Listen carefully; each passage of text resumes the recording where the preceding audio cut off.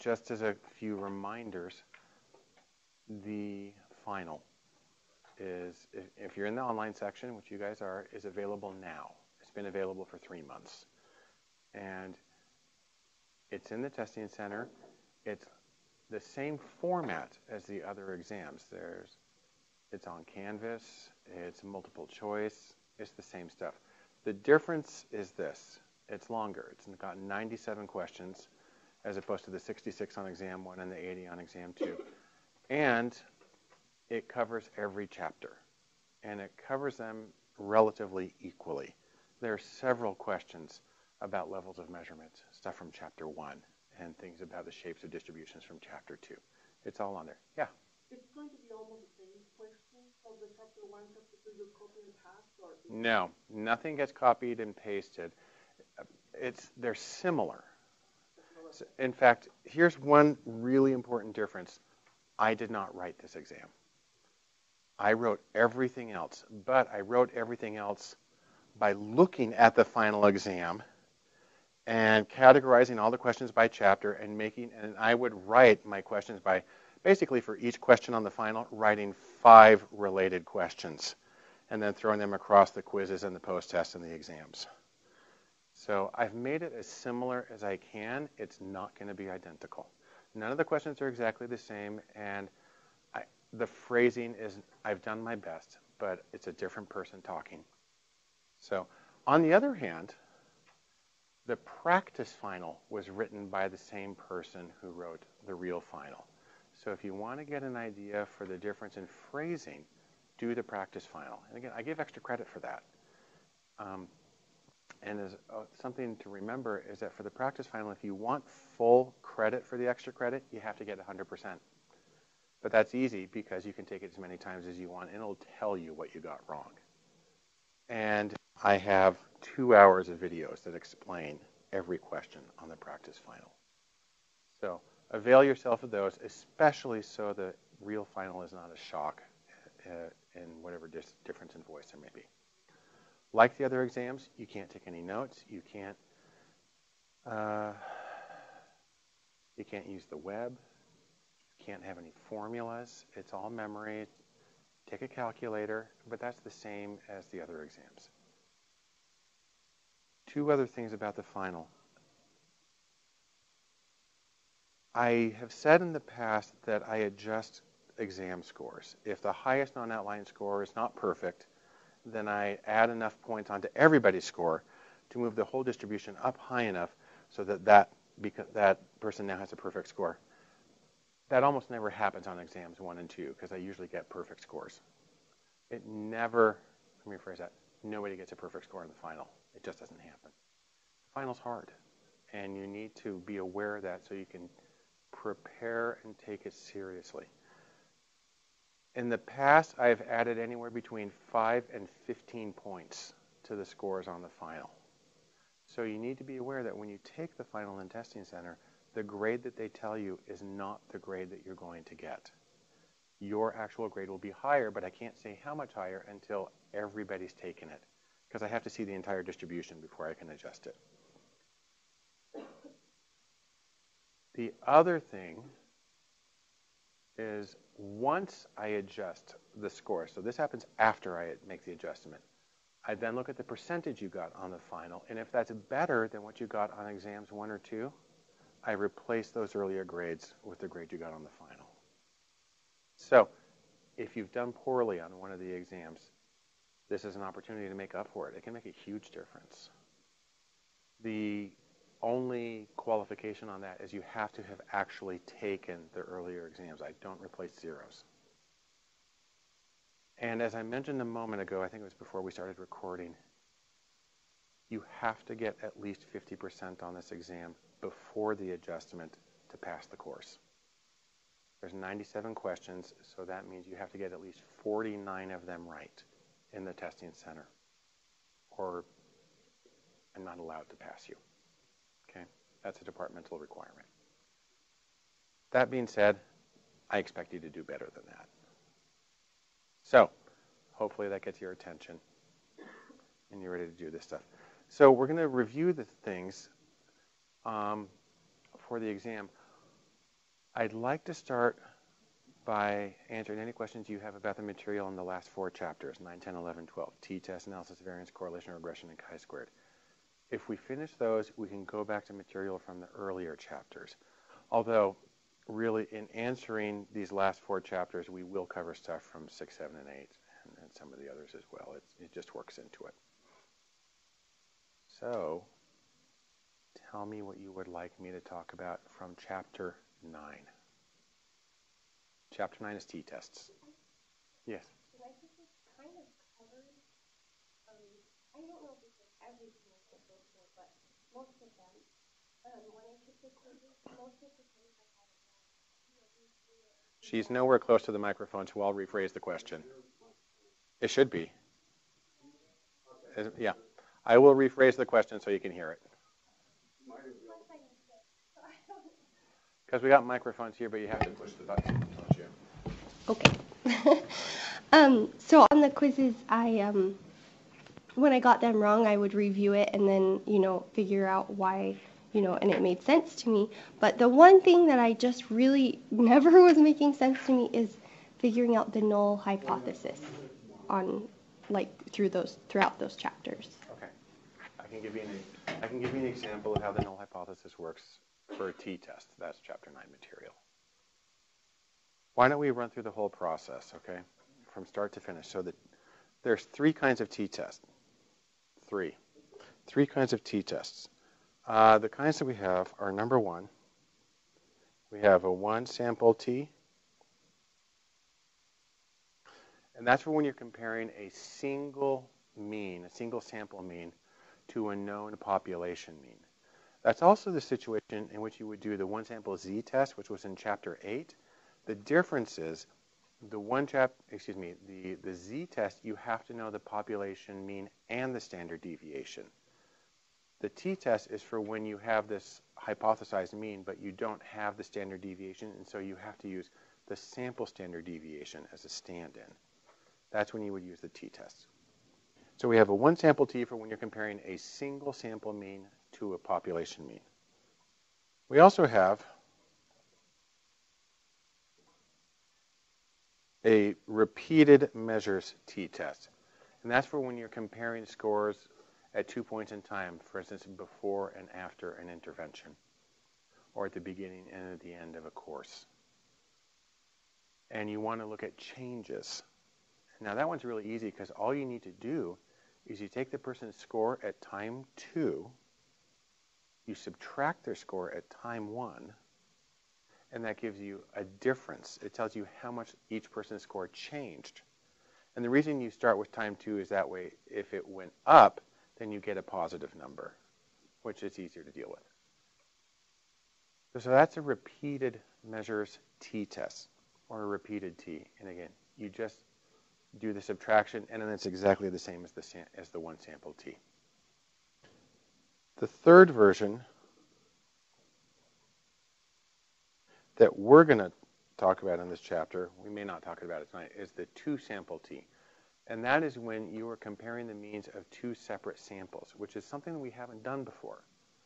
We've only talked about one sample at a time. So this is if you have, say, for instance, you have a mean, an average score on something for women, and an average score on some, the same thing for men, or for uh, people in two different college majors, or people who are married or single, or something like that. You're comparing two groups.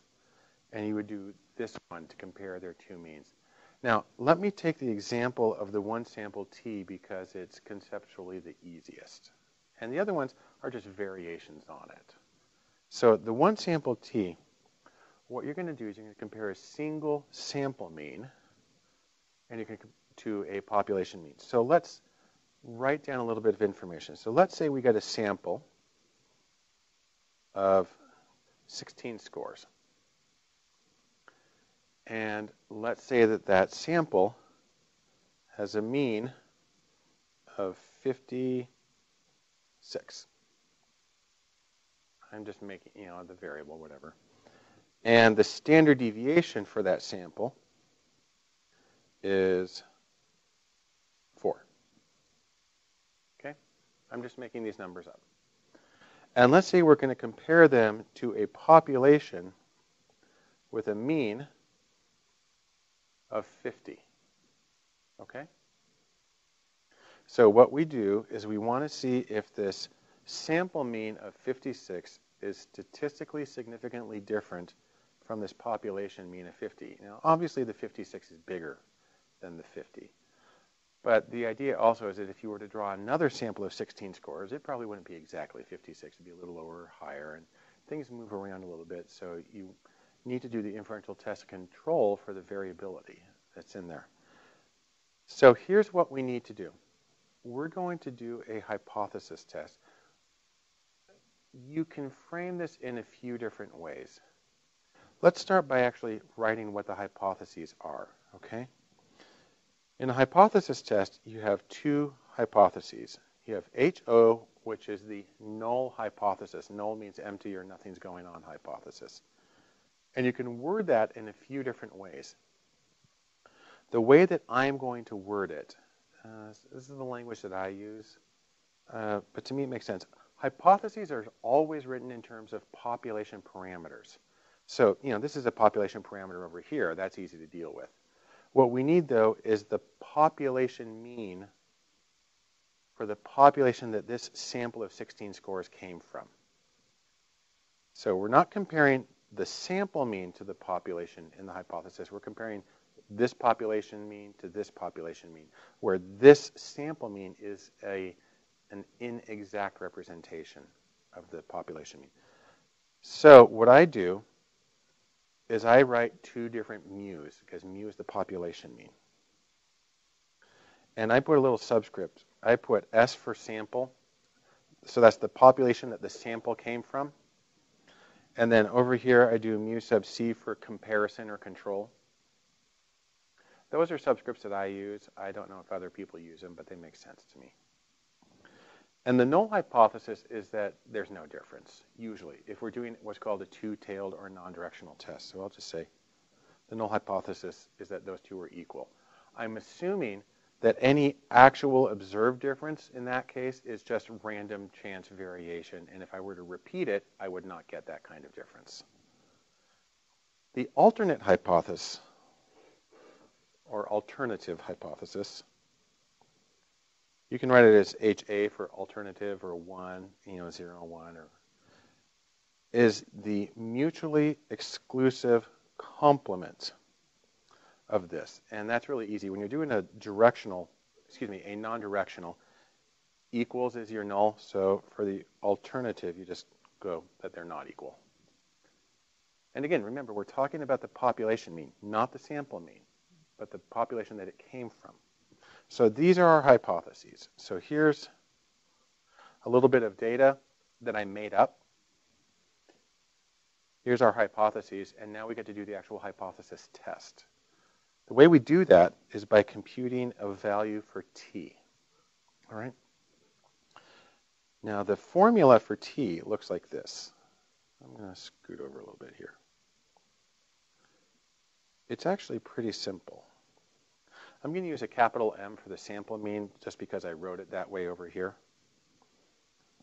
We're going to get the difference between the sample mean and the population mean. And if you want to, you can put this here to make it clear that we're talking about our comparison population.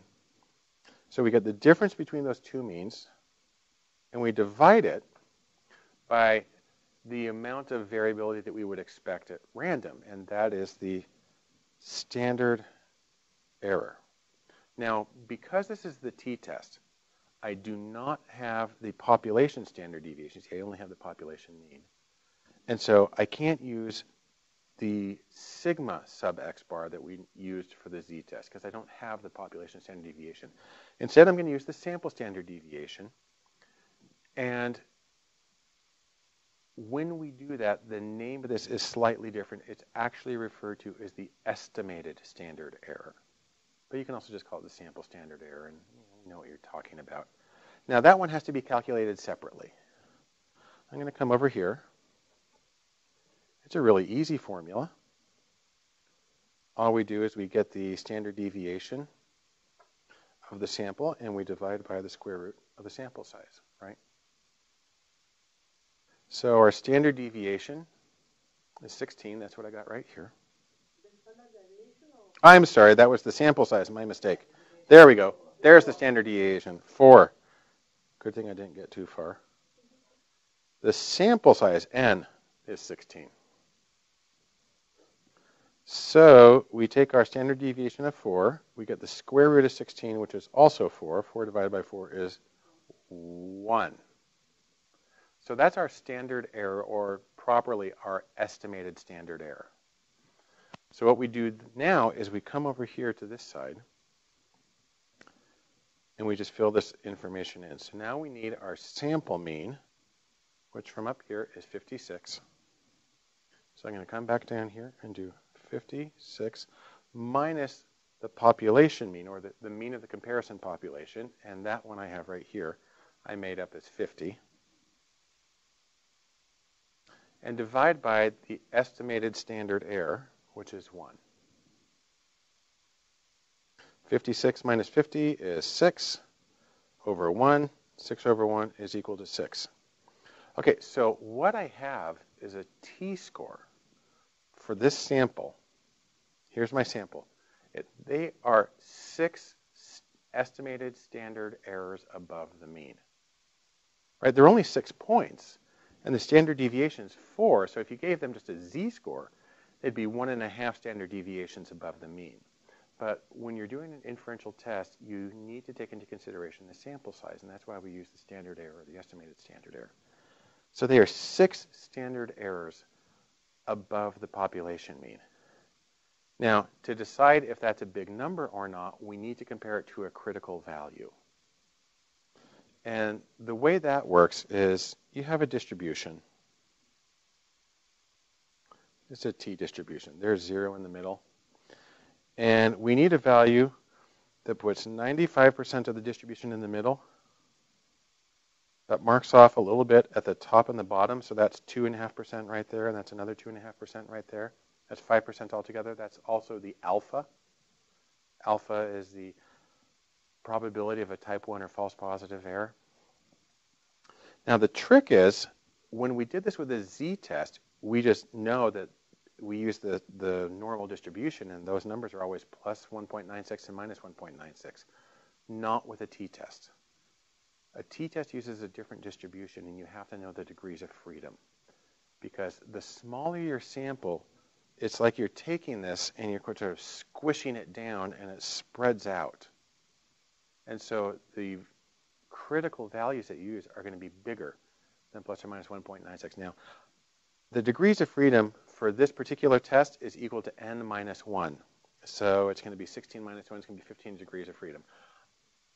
I normally use, I just go to the web and I find an online calculator and I get the critical value for 15 degrees of freedom. It's easy to find. But I'm not going to do it right now. Let's just imagine for a moment that the cutoff is like 2.14. I'm making that up, okay? Because I would need to look it up. But let's say the critical value that separates the middle 95% of the t distribution when there are 15 degrees of freedom from the most extreme 5%, which puts two and a half up here and two and a half down here. Let's say that's a value of t of plus or minus 2.14. It's going to be somewhere around there. Well, you know what? That's not a problem because the value that we got for our sample is 6. So that's 1, 2, 3, 4, 5, 6. It's going to be like out here. So it's enormously different using the criterion that we did. And so what we would say is that this sample, the mean is significantly different from the hypothesized value of 50. So that's the hypothesis test, hypothesis test all the way through. And we would reject the null hypothesis. We just kind of cross that one out, and we would, by default, if we reject this one, then we must, you know, be using this one. Now, please note, I don't say that we accept the alternative hypothesis because this test only addresses the null. That's why it's called null hypothesis testing. It only addresses the null, but we have it set up so if this isn't the one that we're going to use, then it has to be this one. And so we conclude that the population mean for the population that this sample came from is significantly different from this population mean. So that's the significance test every step all the way through. That makes sense that time around? Okay. And let's just say for a moment that if instead of having a, a value of t of 6, let's say that we got a value of 2. All right? What that would do, get at my other marker, is I would put the sample value right there. That's in between our cutoffs. It's in the middle 95%. And so if our sample statistic, our value of t, were 2 instead of 6, we would not reject the null hypothesis because we say, well, it's, it's different, but it's not very different, where we have a very clear criterion for what constitutes very different. And that means we looked at this critical value and we're using an alpha of 05, which is what you use unless you have some good reason to use something else. So when it's 5, hmm? that's 5%. That's right. And if it goes over there, That's right. so we say that we reject it. Right. So on the outside, in this little area that I shaded off, that's when you reject the null hypothesis. If it's anywhere in between, you do not reject the null. Sometimes they say fail to reject the null hypothesis or retain the null hypothesis. So it's the same? Those two things, retain the null hypothesis and fail to reject the whole null hypothesis, those mean the same thing. In either case, you do not have evidence of difference using the criterion that you set up. Okay, so that's a t-test all the way through. Other questions about t-tests? Chapter 9.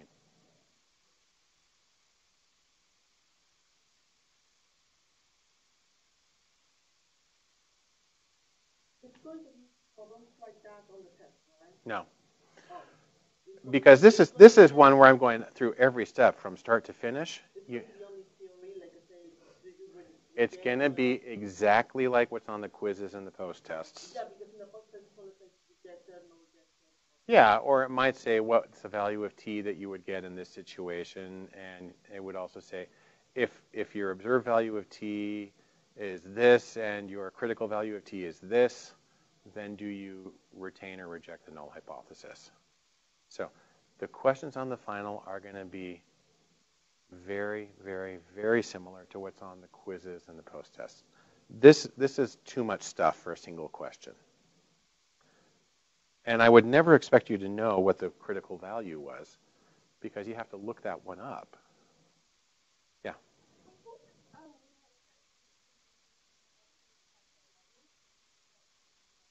Okay, that gets us to the next issue.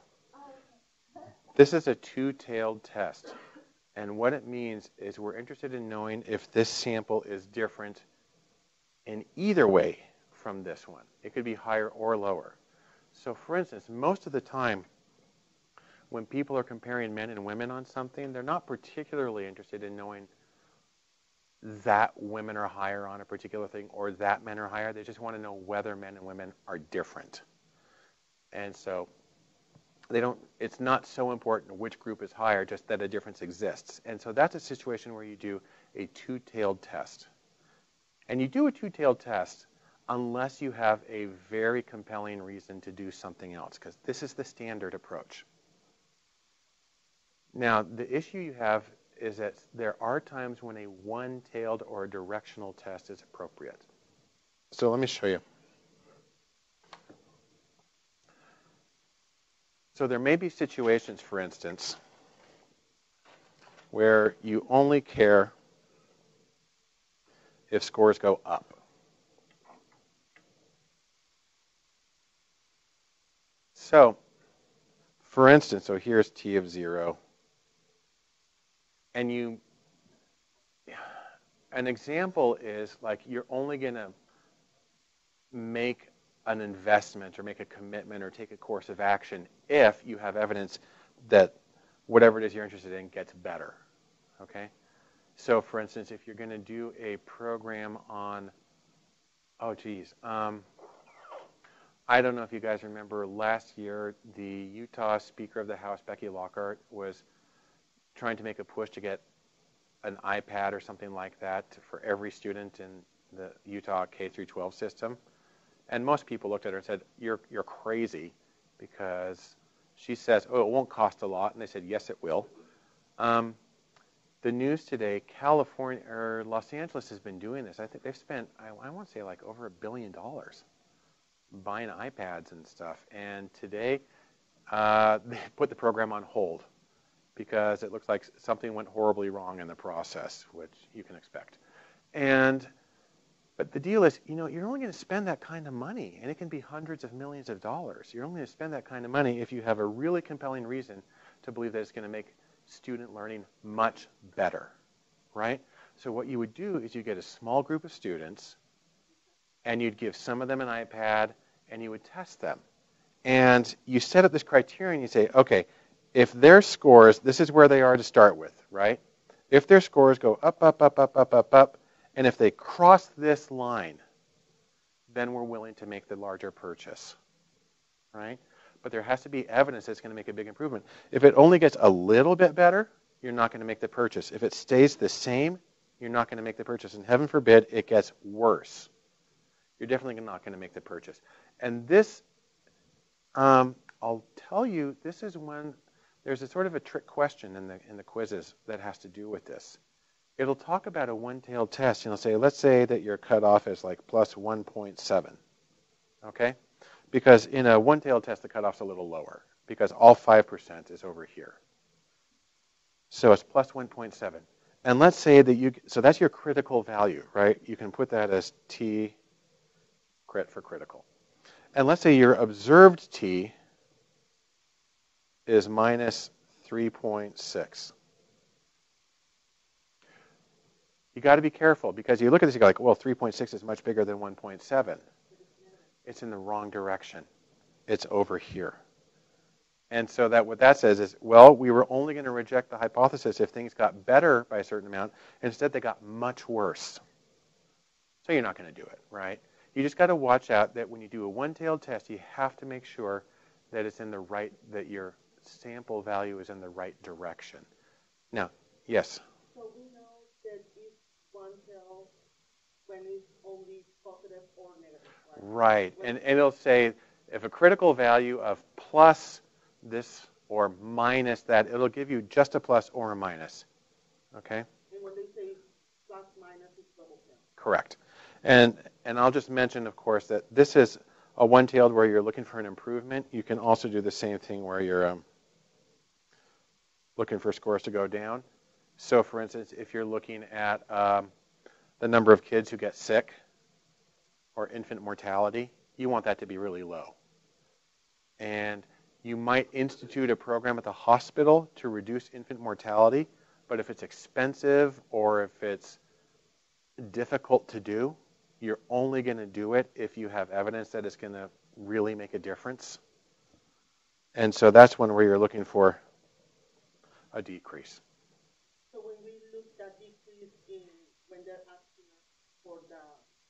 Negative tail. So the more negative it is, so we don't reject it, right? Right. Well, let's say in this case, so this is t again, right? And let's say we had a, a cutoff of minus 1.7, right? So we're looking for something that's negative. In this case, if we got a if we got an observed t of minus 2, okay? That would be right here and that's past our cutoff point and it's into the region of rejection. And so if we hypothesized a negative value, or which really is sort of the same as saying we're not going to do anything unless we have evidence that it really reduces things, and you get this score, then you would reject the null hypothesis, and you would and, and in a in sort of a decision-making context, you'd say, well, we've triggered the decision. That goes because it we set a criterion, it went in the right direction, and it went past that point that we were looking for. So we don't We do. Oh. Yeah, see, you see how the, the X right here is in the shaded region? Yeah. That's when you reject it. Because you want it to get better. No, in this case, you want scores to get low. Yeah. Again, think of like infant mortality, that's kids dying. You don't want that to happen. You want, you want evidence that some program is going to make that happen less frequently. So you want it to go lower, lower, lower, lower, and if you, as soon as you hit a particular point, then you say that's low enough now that we're going to take this program and institute it, you know, statewide. And so, um, point three isn't low enough. Point, yeah, like a 0.3. Yeah, that's zero right there. 0.3 be right there. Which we divided, we were divided. Oh, oh no, no, no. The fact that it's past the 1.7, all it has to do is go past this. You know, a 1.701 would be enough. What half it? Um,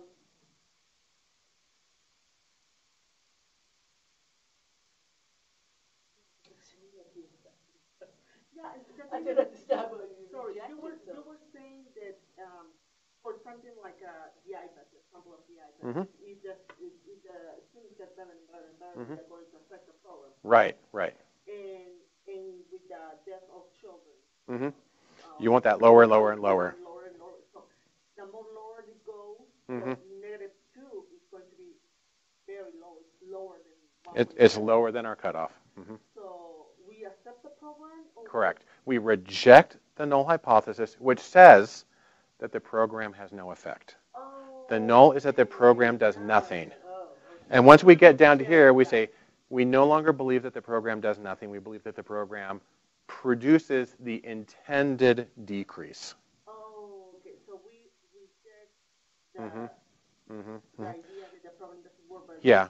Now let's let, let me write the hypotheses here. Okay, when you're doing a one-tailed where you're looking for scores to go up, your hypotheses look like this.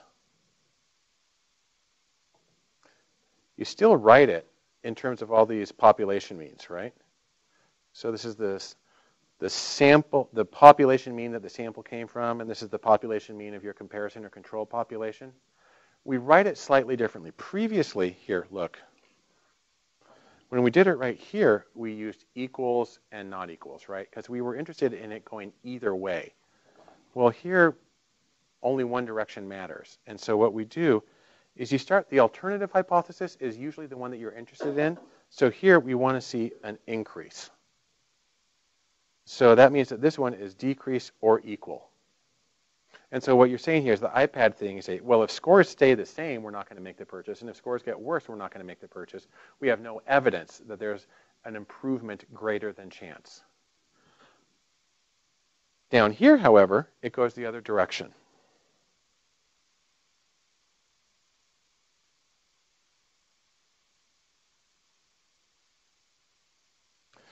This one, we're interested in things getting lower.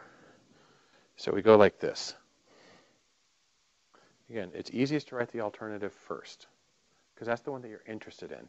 And then the other one just goes in the other direction or equals. And if it's this value, then we reject the null hypothesis, which says that this sample mean is higher or equal to the control population. And it's not. It's lower, which is what we were looking for.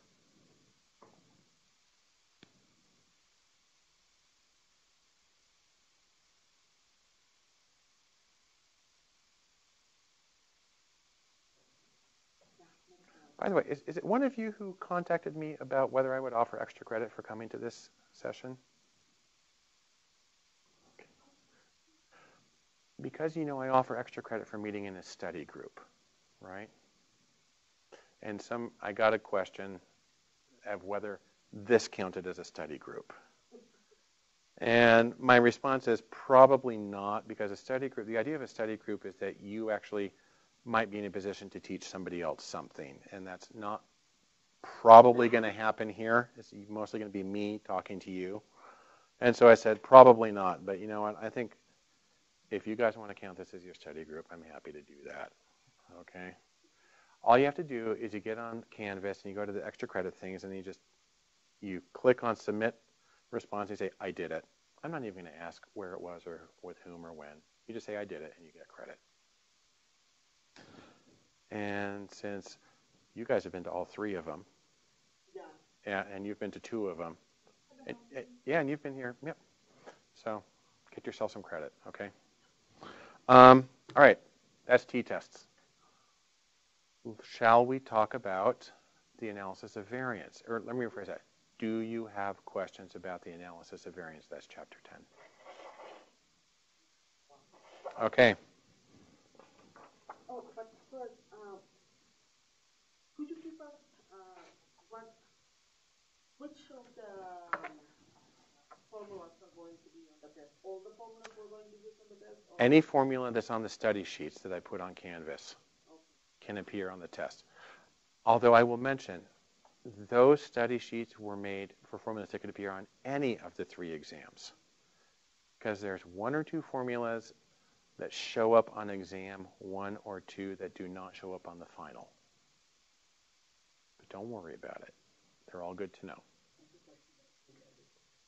And besides, there's, there's really not that many. There, there's not that many. I mean, you need to know how to calculate the mean.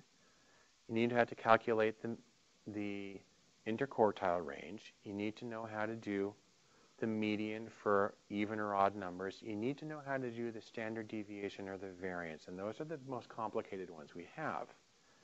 You also need to know how to calculate the standard error and how to do z-scores for individuals and samples, and also how to take z-scores and convert them back to x-scores. And the last thing you need to know how to do is to take a regression equation and compute a predicted score. A predicted score. I can show that to you in a minute, okay? Just ask me when we do chapter 11. And I think that's it in terms of formulas. And the, and the three study sheets that I have linked on Canvas has all of those. But you have to, you have to look at all three of them at once. Just remember you can't take them into the exam with you. I know. Although, do you guys know this? I, I have some students who I thought, well, that's smart. They take their study sheets with them while they're waiting in line. They, they are studying up until the second they get the, ex, the exam. They throw it away, and then they immediately pull out a blank piece of paper and write it all down. So, you know, it, it's sort of like they just have to remember it for, for 10 seconds and put it down. I thought, well, of course. That's allowed. That's allowed because you can have scrap paper. And you can study up until they give you the exam. So study, then switch it over as fast as you can before you forget. All right. Analysis of variance. What questions do you have?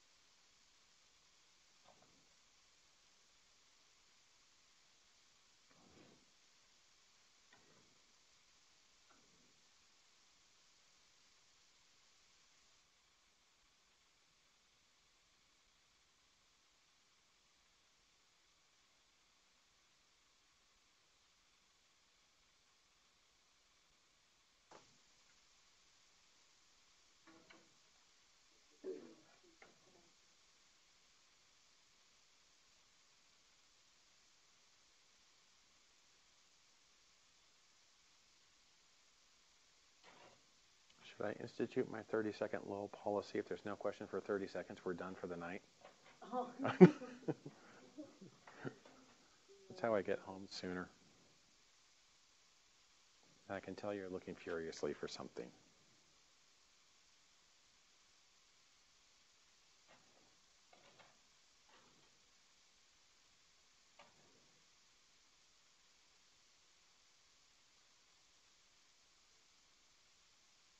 They have an iPad built into the uh, desk up here. They could have done that with a hundred dollar touchscreen instead of a five hundred dollar one.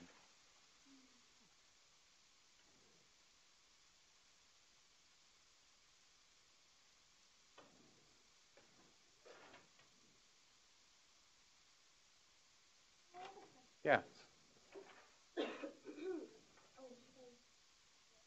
Um, if you can. Okay, on quiz 10.2, Mm-hmm. um, the first question, it asks, or it says the analysis of variance is useful if you want to, and then it gives you some options. Um, and I just kind of got confused about exactly when, what situations to use the Okay, what are your, analysis. cho- so, this is uh, the quiz for Chapter 10, second quiz, first question. The analysis of variance is useful if, and what are the choices? Um, to compare the mean income of men and women. Okay, compare the mean income. So comparing the means of two groups. Okay. Um, compare the number of men and women in different political parties. Okay, let's put this in. Means for men and women. Second, Compare number of men. in political parties. Yeah. Mm-hmm. And then um, test the change in scores for a group of people before and after an intervention. Mm-hmm. And then compare the mean income of people in several different jobs. But now that I understand the t test a little better, reading over like two and three maybe, I don't know, like that kind of connects to the t test more to me. Okay, So, the first one, you're comparing the means for men and women. That's comparing the means of two different groups. Now, I'll let you know, you can use the analysis of variance for that. It is possible to compare two sample means with the analysis of variance. However, it is much more common, and the reason this is not marked as the correct answer is because you would usually use a t-test for that, and a two-sample or independent samples t-test. This one right here, comparing the number of men and women in political parties, that's frequencies. You're counting how many people there are, and you're not getting a mean. And so that actually is an example of what we do in Chapter 12 with chi-squared, because that's the only inferential test that you use for frequency data. This thir- third one, where you're looking at changes over time, that would be the repeated measures t-test. Now, that being said, there is a version of the analysis of variance that deals with changes over time, but it actually is much more complicated and it's much easier to deal with this, the t-test. This one right here, where you're comparing the means of people in several different jobs, that is a classic analysis of variance situation because you're comparing the means of more than two groups. So you can't do that with t-tests. You can't do it with uh, chi-squared because that's because you're looking at means, not categories. Um, you're not looking at changes. So you're comparing the means of several groups. That's analysis of variance. That's when you would use that. So that's why this is the correct answer for that question.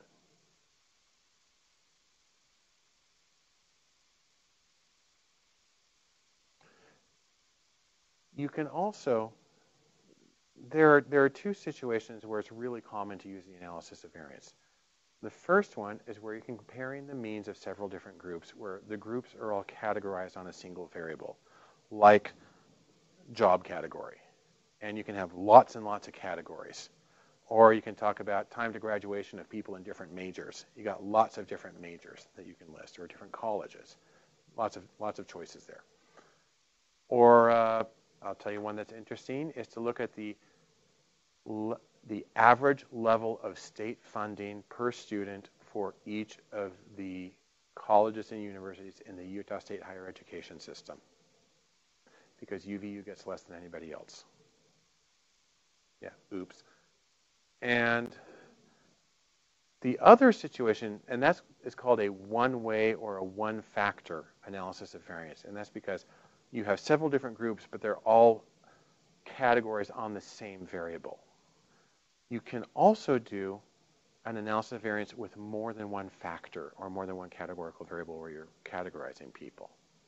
So um, the classic example of this, and I may have used this example in the uh, book or the video, I can't remember. But in my field, social psychology, I, I remember seeing a talk a couple of times by a guy who has been studying racial prejudice. And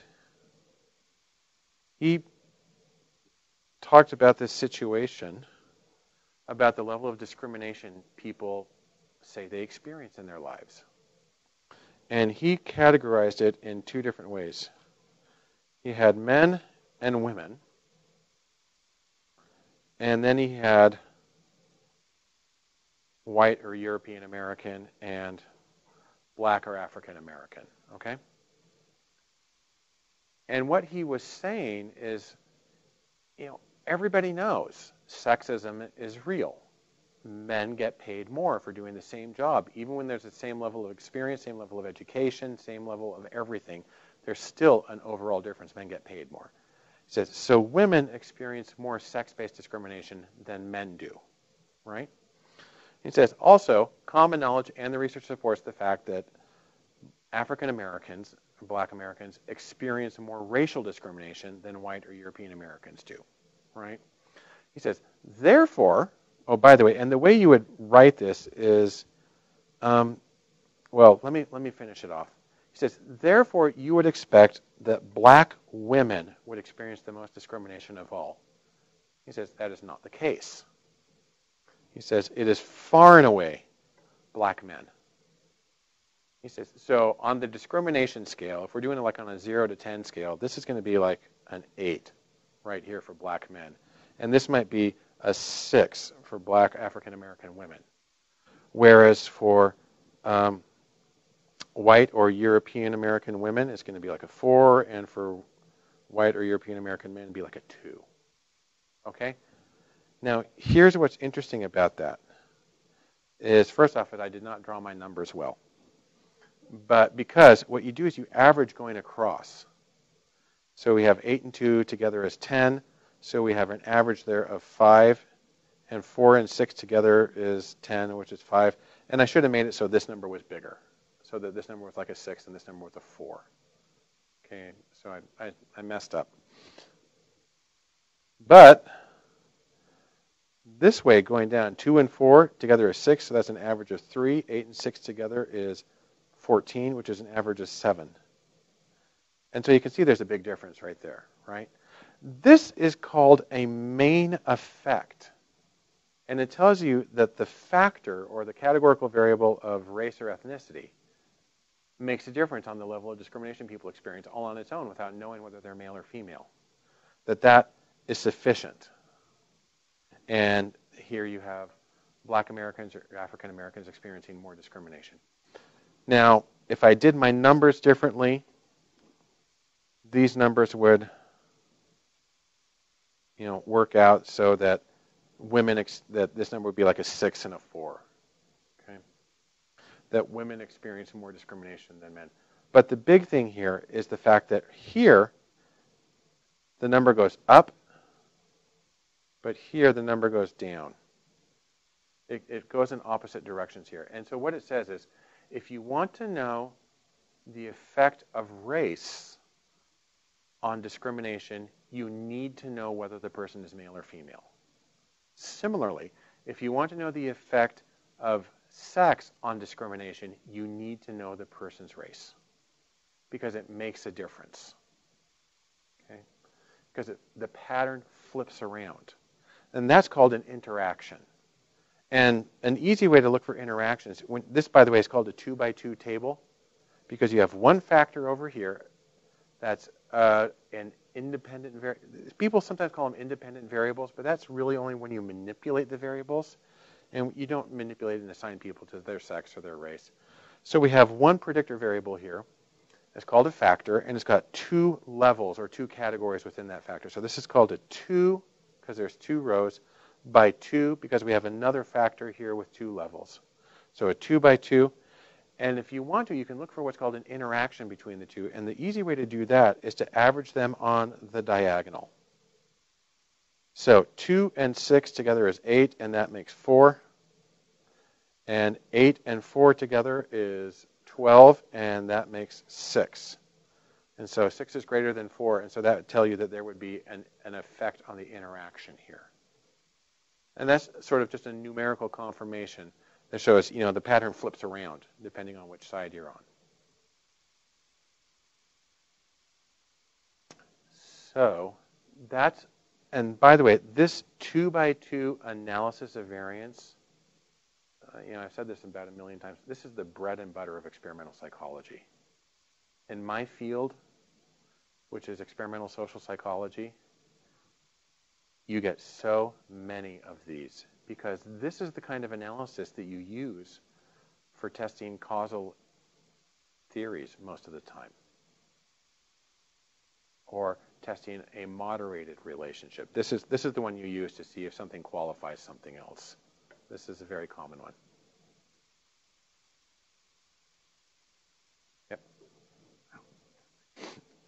So that's when a very common situation for using the analysis of variance. By the way, you would get three results from this. There are three separate inferential tests, and there are, you you get the statistic that you're getting is is F.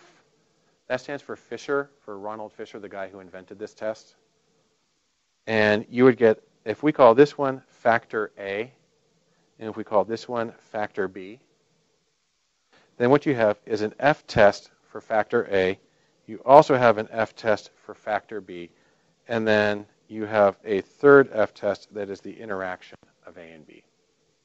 So that's three separate inferential tests that happen when you do this kind of procedure. And for each one of them, you'll get a value of like, you know, let's say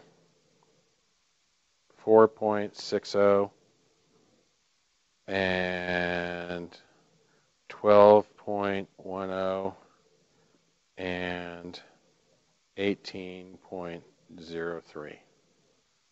And then each of these, so these are test statistics.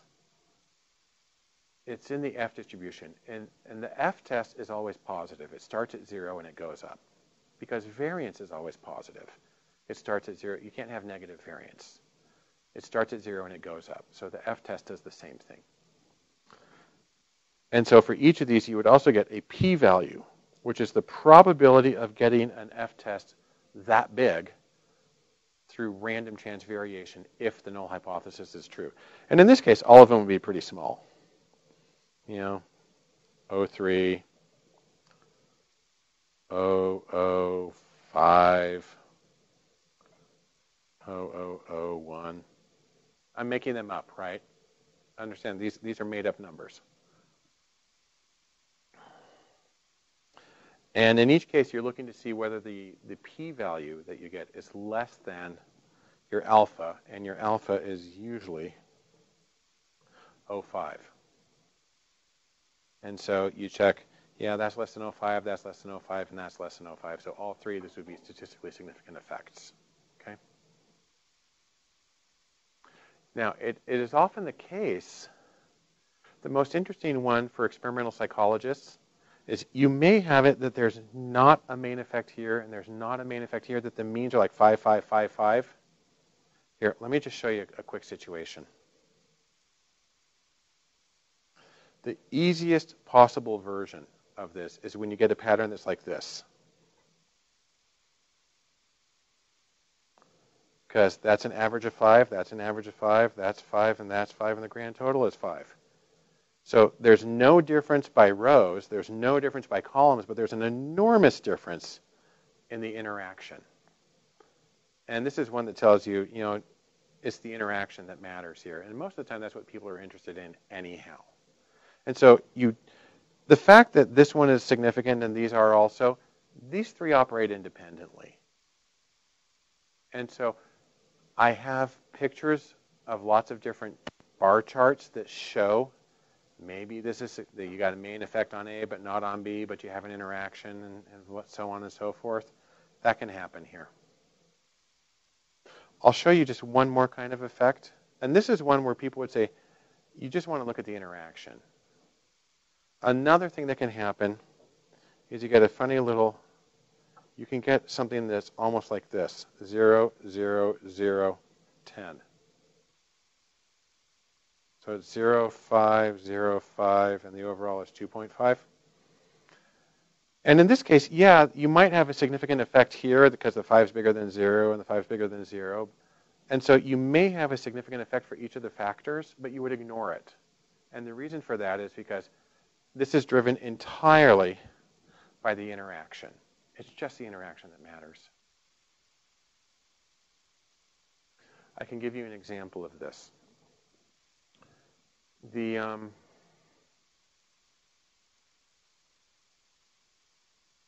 well, I mean, if you want one from chemistry, you can sometimes have chemicals that are totally fine on their own, but if you combine them, you have a major problem, right? But in psychology, an interesting example is schizophrenia. Now, this is not my field of expertise, so I'm just telling you what I've been told. And that is my understanding is that for a person to develop schizophrenia, two things have to simultaneously be true. Number one is they have to be born with a genetic predisposition. There's a genetic risk that has to be there. And if it's not there, you can't get schizophrenia. You can get lots of other horrible things. Things can still go very wrong, but it won't be schizophrenia. But that genetic propensity is not sufficient. You also have to have triggering events. Okay? And the, the technical name for this theory is the diathesis stress model, where the diathesis is the genetic ability to get the disease, and the stress is the event. And in the case of schizophrenia, it's usually horrible abuse that triggers this tendency. And so the idea here is if you're looking at, at schizophrenic symptoms, well, this is people who, you know, have the genes, and this is, you know, do you have the genes? No, yes. And do you have the event? No, yes. If you don't have, if you have neither one, you're not going to show the symptoms. If you have one but not the other, you're not going to show the symptoms. You might show other symptoms. I'm just talking specifically about schizophrenia. But if you have both of those, then boom, you get it big. So that's, that's a simplified model. Schizophrenia is actually a very complex and difficult thing, but that's a simplified idea of where you might get this kind of interaction. Where you have two necessary conditions, neither of which is sufficient on its own.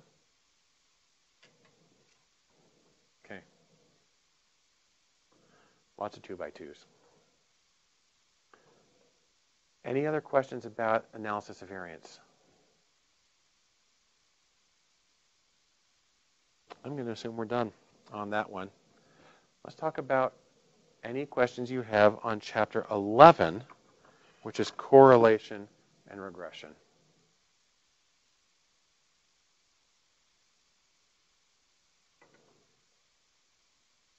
Giving the camera something to focus on.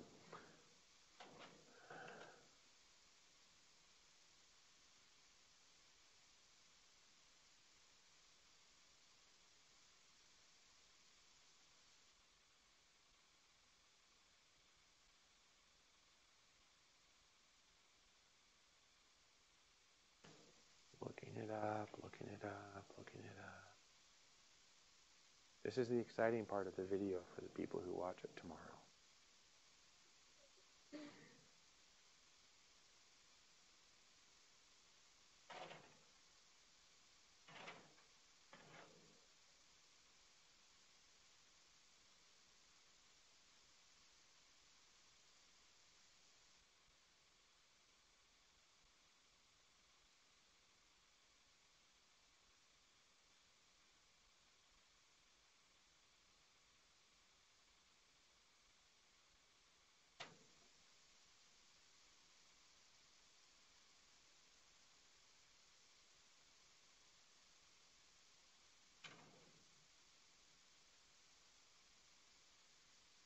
Yeah.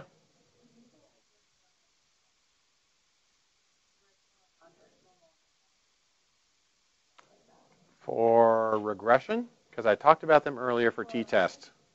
Okay, for correlation. Well, let me bring out an earlier chart. This is where I gave an example of a non-directional hypothesis test for a t-test.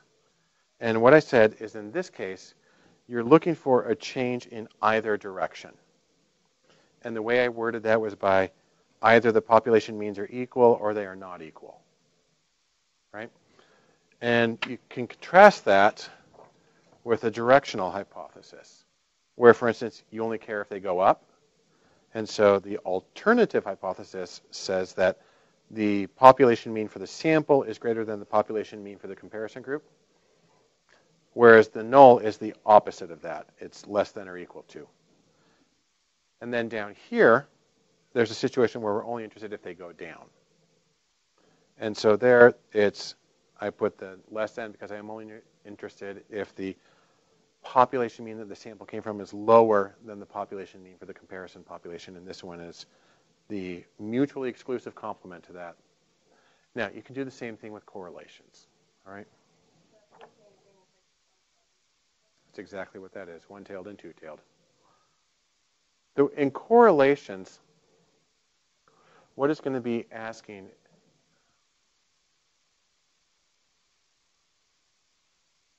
is in correlations. Okay, let's do this. Let's draw, whoa, very fuzzy. And we're back. Okay. Let's draw a quick scatter plot. So correlation, you're going to have two variables, x and y, right? And you might be looking to see whether there is a positive correlation between two variables. In that case, the way you write it is, you know, our hypotheses always come in pairs.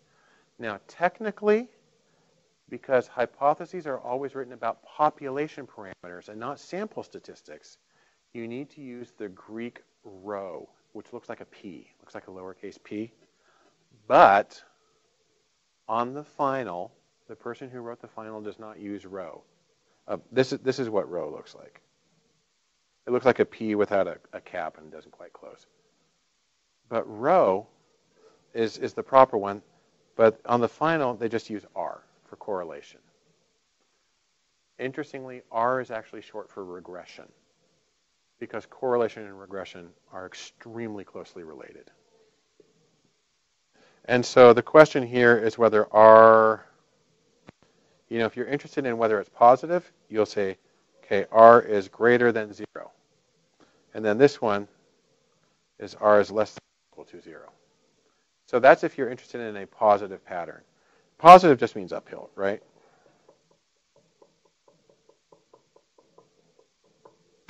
So there is an uphill pattern. The null hypothesis generally is that it's totally flat, that it goes straight across like that.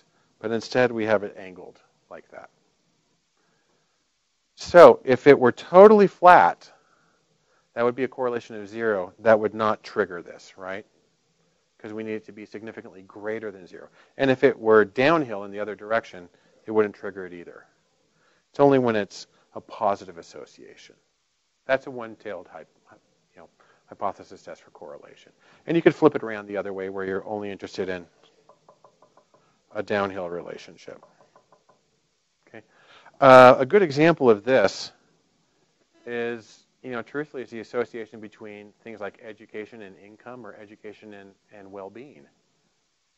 I, I, imagine you know that there is, in fact, a positive association between education and income, that people who get college degrees generally, not always, but generally make more money than people who don't get college degrees. And usually, people who get graduate degrees make more money than people who have bachelor's or associate's degrees. There's, there's a pretty strong pattern overall. There are always exceptions, but that's exactly what they are. They are exceptions. Um, a more interesting one is the association between education and well-being. You know, sort of like happiness. And there is a stronger pattern there, where the more education a person has, the happier they are, the higher their well-being. And that's going to be tied into the fact that you're not in some cruddy dead-end job that you hate, and that you also make enough money to take care of things. You guys, do you guys know about the research on income and well-being? I'm going to go slightly off topic for just a moment. Because it looks like this. This is true both at the individual level and at the country by country level. And it kind of looks like this. If this is money on the bottom, and this is well-being. Here we go. On the side. The pattern is kind of like this.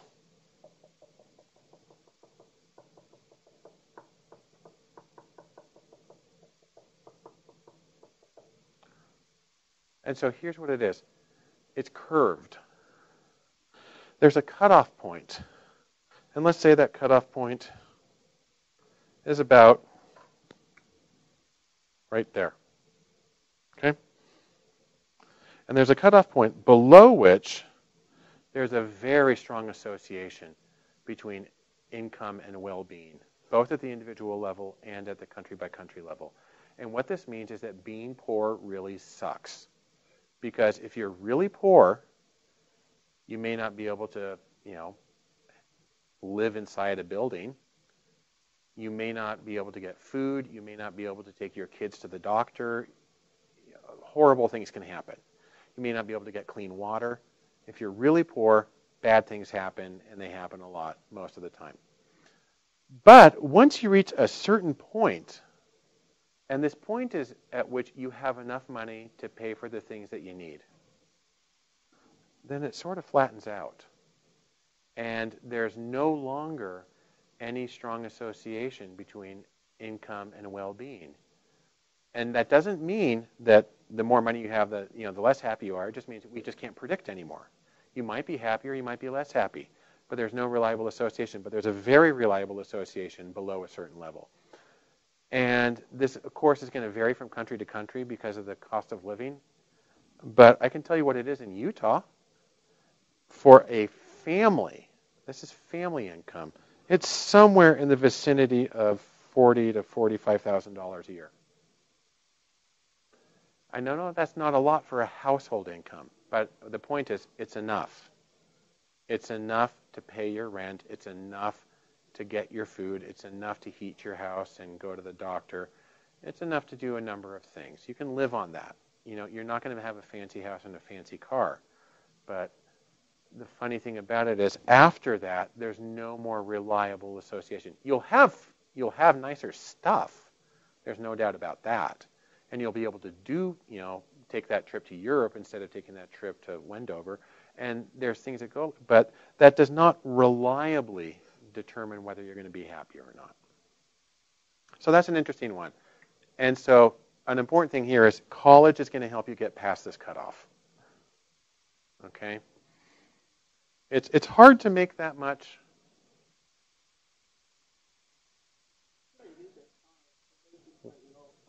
Yeah. Yeah. I was going to say, actually, a plumber makes more than this. Plumber makes about 60,000, 65,000 a year. Um, and truck drivers can make more than that. If, if, you, if you have a consistent, steady employment, it's a funny thing. Um, anyhow, I just thought I'd share that with you. Yes. Yes. No, no, it cannot. R is bounded. R has a limit. The absolute value of R is somewhere between 0 and 1. It can be plus or minus, but that only indicates the direction. This, the 0 to 1, is affected by the strength of the relationship. This just indicates direction. So it's not possible to have an R of 1.1. You, and it's very rare to have an R of exactly 1 or negative 1 because that means that every single score is uniquely associated with one other score on the other variable, and that usually only happens, and what, here, that only happens when your plot looks like this. Or like this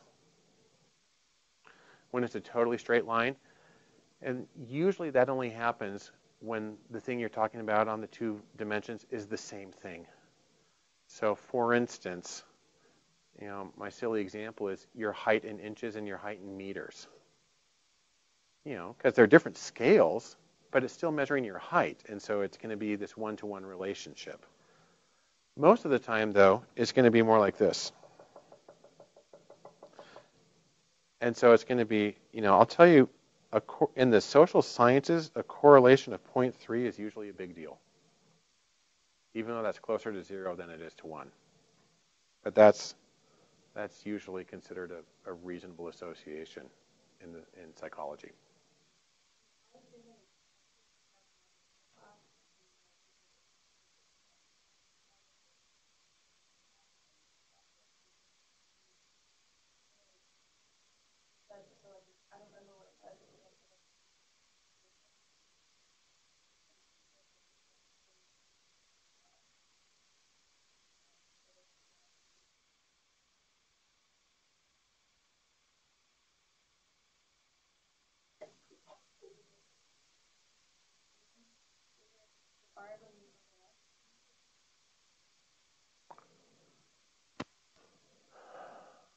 Lot of things have multiple meanings, but R I only think of in terms of correlation. Now there is one thing that can go to an in, you can go to an infinite decimal places, and you and you can have something like R is equal to 0.78, and then you can give a p-value, and the p-value might be like you know 0.000001. You, you can have an infinite number of decimal places there.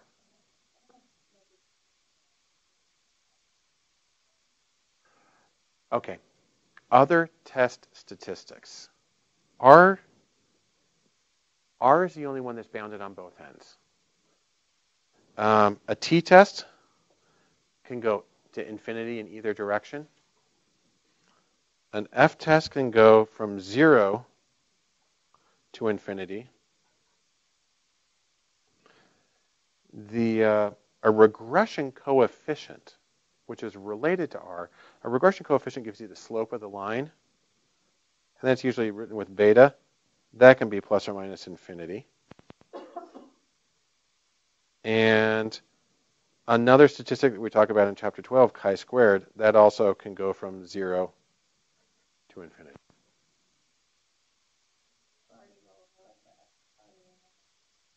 Yeah, that's chapter 10. We're in 11 right now. Don't worry, though. You can look at it on the video tomorrow. But correlation and regression. What else?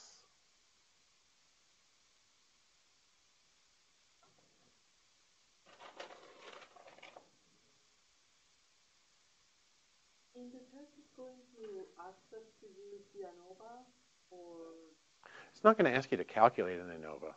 oh, okay, just the question. It, here, it's going to be something along the lines of assume a researcher has done an analysis of variance and they get an F, an observed F of 7.3.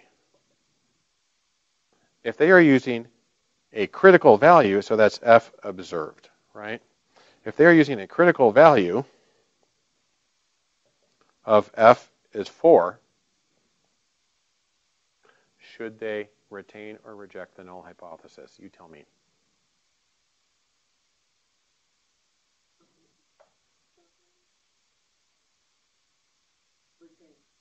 No, reject. Yeah. Because remember that our critical value here, by the way.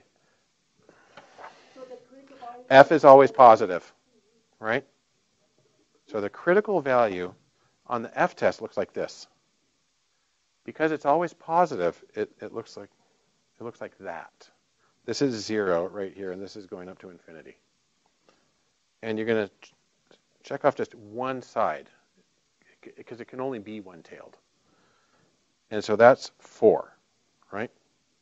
And what they're saying is we got a value of 7.3, which is going to put it like, you know, out here somewhere. So the point that we have to go is the critical point, that is our point. That's the cutoff point. Yeah, and if it goes past that, then you reject the null hypothesis. You know, I'm glad you're asking this because there's a lot of questions on the final about this. I mean, because think about it. The hypothesis stuff, the accept, you know, retain, reject stuff, comes up in chapter 7, 8, 9, 10, 11, and 12. All of those chapters include that kind of question, so it comes up a lot. So you have to be very comfortable.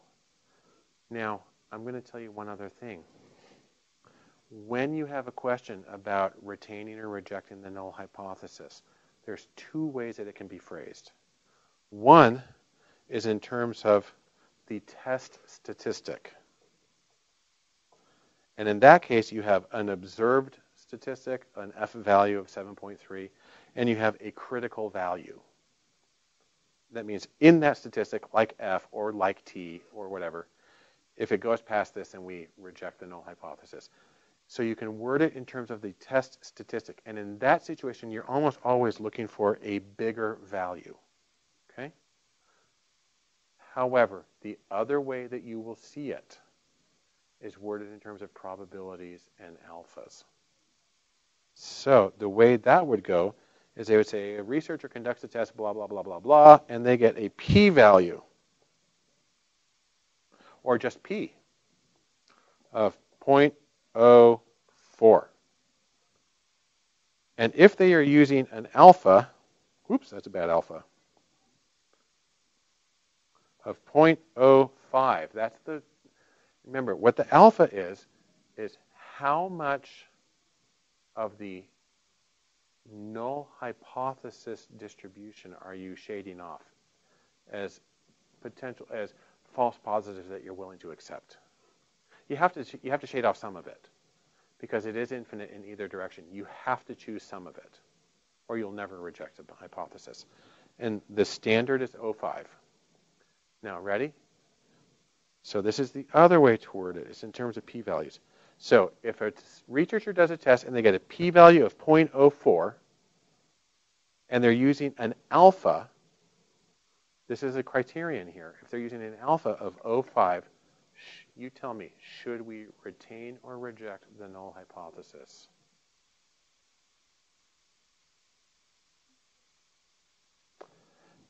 This one we reject. I know, I know. Here's the deal. Ready? This one, we're looking for bigger values. With a test statistic, you're almost always looking for bigger values. You have a you have a criterion that's your cutoff, and you have a and you're looking for a bigger value, something that's more extreme than that. With a p-value, however, you're looking for smaller values because what a p-value is is what's the probability of this happening by chance? And you're saying, well, it needs to happen less by chance less than 5% of the time. That's my cutoff. That's my alpha. It says if it happens by chance less than 5% of the time, I'm going to imagine that it's probably not chance, that it probably indicates an actual difference. And this p-value right here tells us that we get a test statistic this big or bigger by chance 4% of the time. If our cutoff is 5%, it has to it has to happen by chance less than 5% of the time, and we get a we get a sample value that happens 4% of the time. 4% smaller than 5%, we reject the null hypothesis because we said it has to be rare and it's more rare than we said. Now, I'm going to complicate it. Ready? Instead of an 05, let's say we used an 01 because that happens also. So people sometimes use a smaller alpha. And what that is, is they want a smaller probability of a false positive. It'll happen, for instance, a lot of medical research. now we retain. The sample value has not changed. All it is, is that we've changed our criteria. And a good example of this from the real world is, um, well, I can give you two. My favorite example is from is from the legal world, and I probably talked about this one last time. I talk about it all the time. You guys may not be old enough to remember the O.J. Simpson trial. Some some of you. O.J. Simpson, an American football player who was um, accused of killing his wife, Nicole Simpson. This happened about 20 years ago. And it was one of the most bizarre, because everybody loved OJ. He was this fabulous, wonderful guy. Everybody loved him. You know, sort of like Michael Jordan. Everybody still loves Michael Jordan. He has not fallen yet. And like everybody loved Bill Cosby up until like three weeks ago. And um, so everybody loved OJ. And then it, he like was, people said he killed his wife and he got involved in this really bizarre 55 mile an hour chase on the freeway. His friend was driving this Bronco at at the speed under the speed limit, and they had like 14 police cars and helicopters following them, but he's going down the freeway. Well, what happened is it went to trial, and of course, and it's a situation where sort of like the common knowledge was that of course he did it. How could he possibly not have done it? But he was acquitted in the criminal trial. He was, he was not convicted of murder in the, in the criminal trial. And that trial went on forever. Then, as soon as the criminal trial was done, now the, a criminal trial is to, to determine whether a person committed a crime, right? But it was followed up immediately by a civil trial. A civil trial is to see if you have done performed some sort of injury to somebody else in terms usually it's money, right? And in the civil trial, he was convicted almost immediately. And so the immediate question is, wait, wait a second. If he gets, if he's off the hook on the criminal trial, how can he get convicted in the civil trial? And the answer is very easy. If you guys are familiar with the, the American legal system, we have different standards of evidence for those two kinds of trials. In a criminal trial, a person can only be convicted if the jury is certain beyond the shadow of a doubt. And that means that you have to be like 99.9% certain that this person actually did it. If you're 99.8, you do not convict them. You have to be totally certain that it happened, beyond the shadow of a doubt. There's just like no doubt in your mind that it happened. And there was a shadow of the doubt in, in the jury's. Um, but in a civil trial, you simply have to have what's called a preponderance of evidence. And that means you have to be 51% certain. And so it's sort of like his guiltiness was not different. You know, say in both cases, say for instance, the jury was 95% certain that he did it, but we have different cutoffs. In the criminal trial, it's 99.9, and his 95 did not meet that. But in the civil trial, it's only 50. And he went way, way past that. Another analogy for the social sciences, um, are any of you guys familiar with the Beck Depression Inventory? It's a very common questionnaire for assessing depression. It's a self-report questionnaire. People fill it out. And it's only like, it's like 20 questions. And if you look at it, you can say, well, yeah, that's what exactly, you know, like, are you sad? You know, um, but you get a score on the Beck Depression um, inventory, and there are two cutoffs. And basically, you can think of them as outpatient and inpatient. So let's say, I don't know what the cutoffs are, but let's say like 15 is the outpatient cutoff. So a person who has a score of 15 or higher is seen as depressed enough to need therapy. And then there's another cutoff at like 20 or 21 or 25 that's inpatient, and it says this person is so depressed, we really can't let them go home.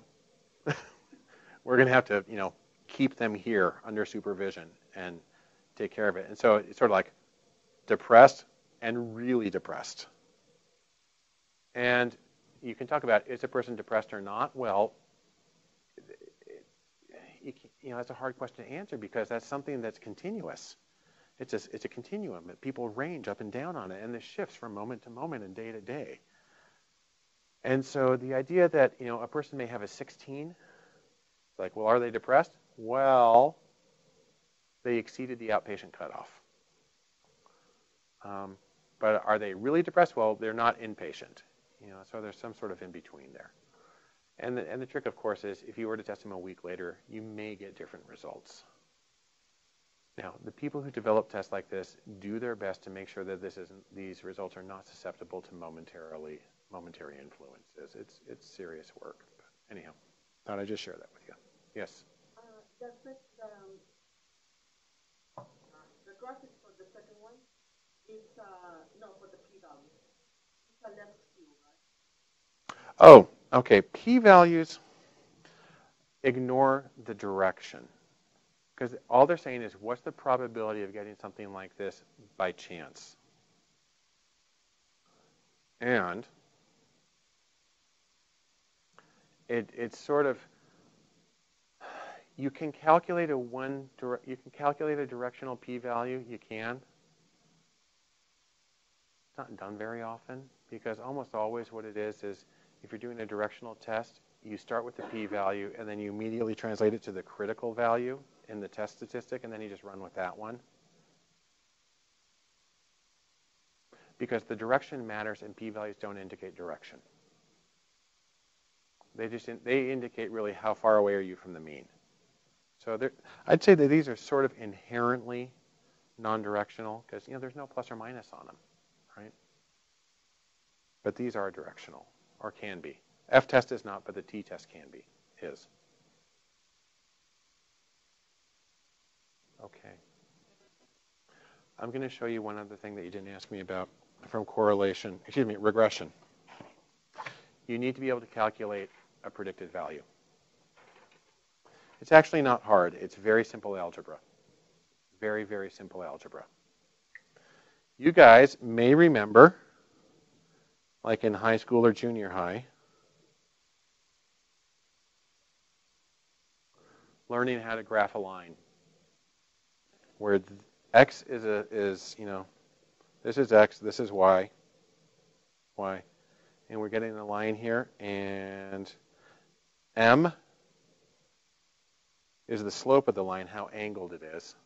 And b is the y-intercept where it is what value of y it has when it crosses zero well in statistics we don't usually use this formula that's common in geometry we usually flip it around a little differently and write it like this. y is equal to b0 plus b1 times x1. And this is the intercept, and this is the slope. Okay, b is for a is the symbol for a regression coefficient. That's what it's called. The slope and the intercept are both coefficients. It's just a number that you multiply something by. And the reason we use 0 and 1 is because it's possible to have more than one variable. And so on and so forth, right? You can have, you can have lots of predictor variables. But we're not dealing with that. That's called multiple regression. We're just doing this simple version, which is called bivariate or two-variable regression. No, it describes it's it gets into higher dimensions if you have bivariate describes a line. If you have two predictor variables, it describes a plane in a three-dimensional space. If you have four variables, it excuse me, if you have three predictor variables, I think it describes like the surface of a sphere in a in a you know, it gets it gets crazy. You don't visualize it anymore at that point, right? Uh, so it's not lines. It just um, but it's pretty easy to deal with because you, you, guys know, like, you know, if you want to predict your income, here's the average. Start with this, and then for every year, add this many dollars, and for every year of education, add this. But every time you've gone to jail, subtract this much, and you know, so on and so forth. And you just kind of bump it up and down as you go. That's if you're doing a, what's called just a totally linear one where you don't have interactions between things. Interactions are very common, but they're very difficult to deal with intercept and slope. So, for instance, you would use the uh, regression and you would do a, you would do a calculation to get the intercept and the slope. I'm not going to ask you to do that. We're just going to tell you the intercept and the slope. So let's say, for instance, that b0, which is the intercept, is equal to 6, and that b1, the slope, is equal to minus 2. Okay? Yeah, so here's what I'm going to do. And say, so if a person has a score of 2 on x, then what will we predict their score would be on y? So here's how it works. Ready? We've got b0 plus b1 times x1. So we go like this. b0 is 6. The slope is negative 2, and their score on x is 2. Like that. So I just work through it. Uh, negative 2 times 2 is negative 4. When you add a negative number, that is the same as subtracting. 6 minus 4 is equal to 2. And I'm going to put a little hat on that. Uh, in French, that's a circumflex, and in English, it's a caret. Spelled the same way like the carets in a diamond and it's on the keyboard over the 6. And that means a predicted value. And so what this says is if a person's score on x is 2, and this is the intercept and this is the slope, then we would expect them to get a score of 2 on the y variable. It's coincidental that these are the same. Normally they won't be. So let's do it again, except this time with a score on x of minus 3 you tell me what the predicted value of y is. When this is the intercept, this is the slope, and this is the x value that, whoops, x value that we're dealing with. So run through the equation.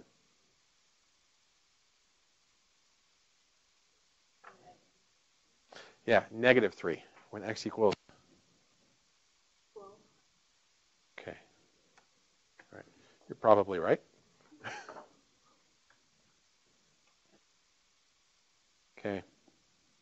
I'm going to pretend you guys all worked on that. Here we go.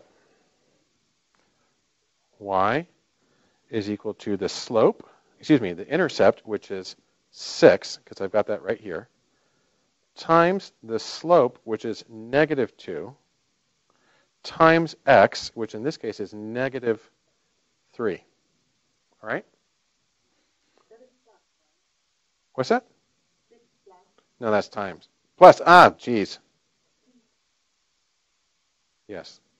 Thank you. 6 plus negative 2 times negative 3. Well, a negative times a negative is positive, right? And so that is actually positive 6. And 6 plus 6 is 12. So if a person has a score of negative 3 on x, then we would expect them to have a score of positive 12 on y. Doesn't mean that's actually what they're going to have. It's just what we expect them to have. And so, for example, uh, let's talk about uh, a negative association. I, I know some actual data that looked at fifth grade students and assessed them for symptoms of ADHD. So it's a scale where low numbers mean very few symptoms of ADHD and high numbers mean you've got a lot. And then they compared that to their performance on an academic test. Not surprisingly, it looked like this. Kids who had a lot, who had high symptoms of ADHD, tended to get worse grades. Okay? Now, it's let me just mention something really important. This is a correlation. And one of the things that if you study research that gets hammered into your head is correlation does not imply causation. Correlation and causation are very different things. So for just for a moment, the fact that a person has pretty severe ADHD does not mean they're stupid.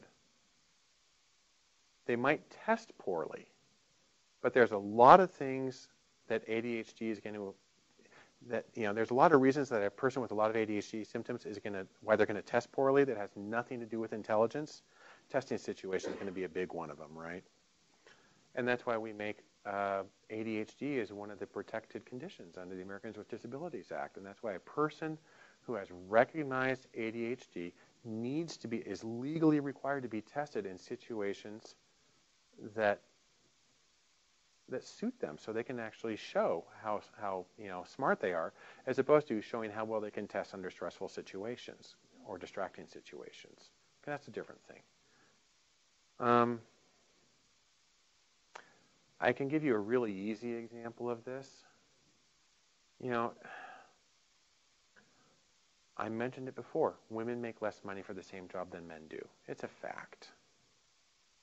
And what's weird is it's in almost any profession, even jobs that are typically run by women. You know, guys almost always make more doing the same thing. And, okay, ready? We all know it's not because you have two X chromosomes. That's not what causes the change in pay what it is is that gender is associated with a million other things that do produce the association in pain. And some of them might make sense, but some of them are just predictors for, or just, you know, cues for straight ahead sexism. And, and so it's there.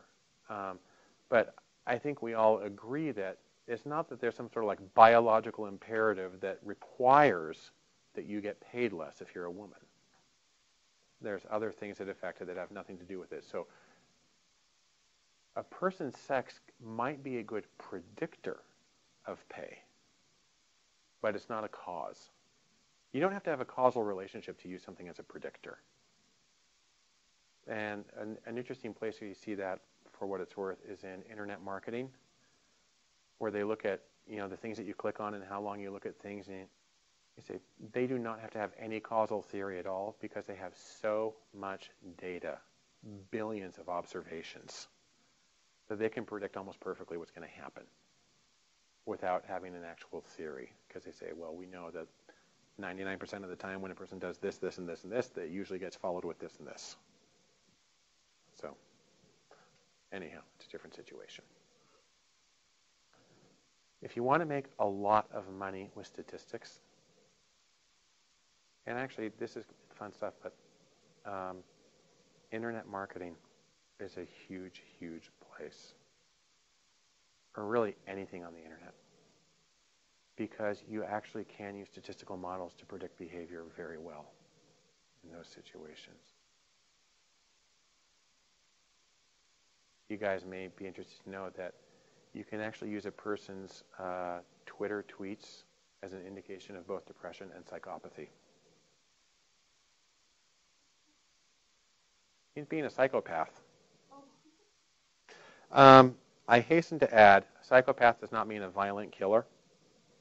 Uh, it's not even antisocial because an antisocial person is out is, is antisocial personality disorder is sort of a different thing. That's where you're actually trying to hurt people.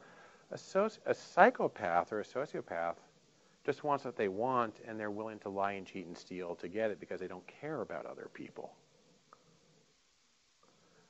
And I'll, I'll just mention that a person who is willing to lie and cheat and steal with no remorse tends to do very well in certain professions.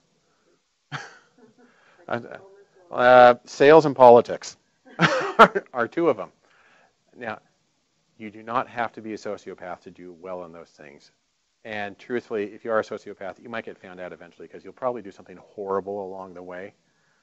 But if you can lie and cheat and steal without feeling bad about it and can do it with a straight face, you're, you're going to get away with more things. So, you can tell a little bit by, tweet, by Twitter. Fascinating, huh? Yeah. Back on topic.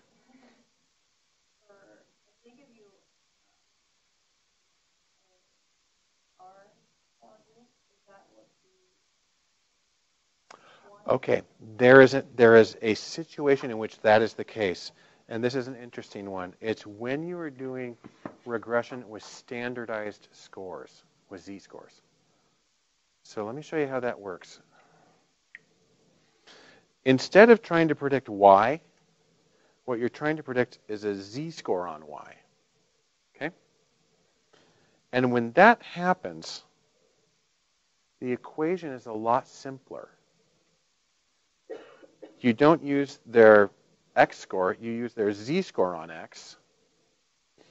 And the only coefficient is the correlation coefficient.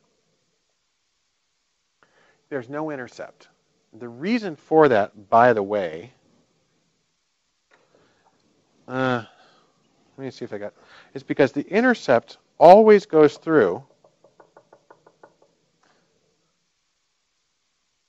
Let's say that's the mean of x, and this right here is the mean of y. The intercept always goes through the point defined by the mean of the two variables. But remember, the mean of a standardized variable is 0. And so when you're dealing with zx and zy, the mean of both of those is 0. So all it means is that the regression line goes through the origin. It goes through the 0, 0 point on the chart. So you don't have to include that. And the slope is the correlation coefficient.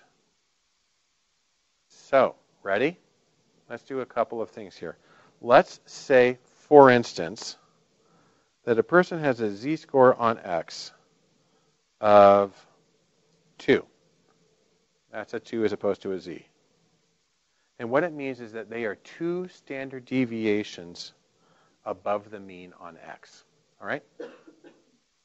Now, let's say that the correlation between r, excuse me, between x and y, and you can put that right there. You can put x and y right there if you want to. You don't need to.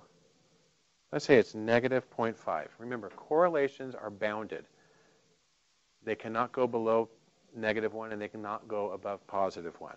And they're almost always closer to 0. So if, if a person has a z-score on x of 2 and the correlation between x and y is 0.5, then what is their predicted z-score on y? That's a question you get to answer.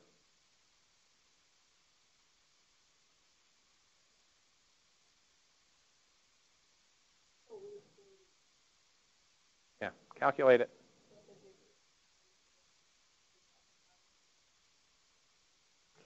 Correlation coefficient, negative 0.5,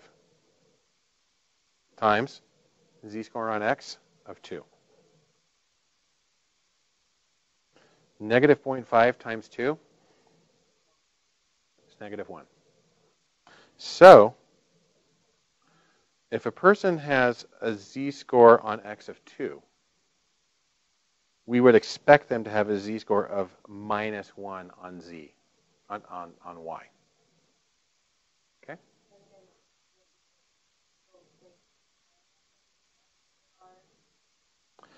The correlation coefficient is bounded. It can go anywhere. Okay, ready? What I said earlier is that r, the value, the absolute value of r, ready? It goes from 0 to 1. And the direction of r can be positive or negative, which means that it goes from negative 1 to positive 1. But negative 1 and positive 1 are both perfect linear relationships. They're just in different directions. So there's that. Okay, ready? Let me, let me give you an interesting little trick question because I think this shows up on one of the quizzes or post tests. Let's say we, we still have a z-score on x of 2. But let's say instead of the correlation being negative 0.5, let's say the correlation is 0. What do we predict their score on y to be? Yeah. In that case, r is 0 times 2. Well, 0 times 2 is 0, right? And by the way, do you guys remember what it means when a z-score is 0? It's the mean. It's the mean. And what that, what that tells you is that if there is no association between your predictor variable and your outcome, because the correlation is zero, if there's no association between the two, then you just predict the mean on the outcome variable. Right? So, for example, if I'm trying to predict your income five years after graduating, and I either know nothing about you or I only have information that's totally irrelevant, then all I can do is predict, well, what's the average for five years out? And that, that would be my prediction. Until I have some information that actually is correlated with that, I stay with the average. And then uh, once I have correlated information, then I can start bumping up and down a little bit. I, I want to mention one other thing about this particular equation right here. This correlation also works into regression to the mean. You remember regression to the mean? The idea here is that people who have extreme scores on one variable tend to have less extreme scores on another variable. Or it comes from the original research on the heights of fathers and sons. Very tall fathers tended to have sons who were tall but not as tall as they were, and very short fathers tended to have sons who were short but not as short as they were. In other words, the height of the second generation returned or regressed a little bit towards the average, the mean. That's regression towards the mean. And you can see how that would work with this equation. Because the only way that the scores on, on y are going to be as spread out as the scores on x is if the correlation is a perfect negative or positive 1. That's the only way it's going to happen. Anything less than that, and since a perfect plus or minus 1 correlation almost never happens, let's say your correlation is like 0.8. Well, then it means that the variability is, so if a person has a z-score of, you know, well, 2, right? That means there are two standard deviations above the mean on x. It's going to shrink a little bit because you're multiplying it times a number that's in between 0 and 1. So it's going to be 1.6 as opposed to 2. So you're going to predict less variation. It doesn't mean that they're always going to be less variable. You know, people can have children who are taller than they are, or you know, that happens. But most of the time, things tend to vary, uh, get a little closer that way. We have 12 minutes left. Chapter 12.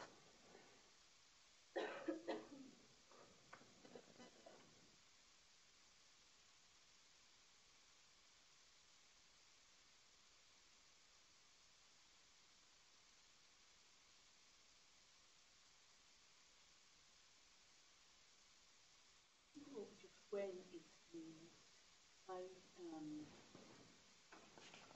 see what it but it's have difficulty. Okay. It's actually, there's actually an easy answer to this. Ready? First off, this is what we're talking about. That's a Greek letter. It's chi.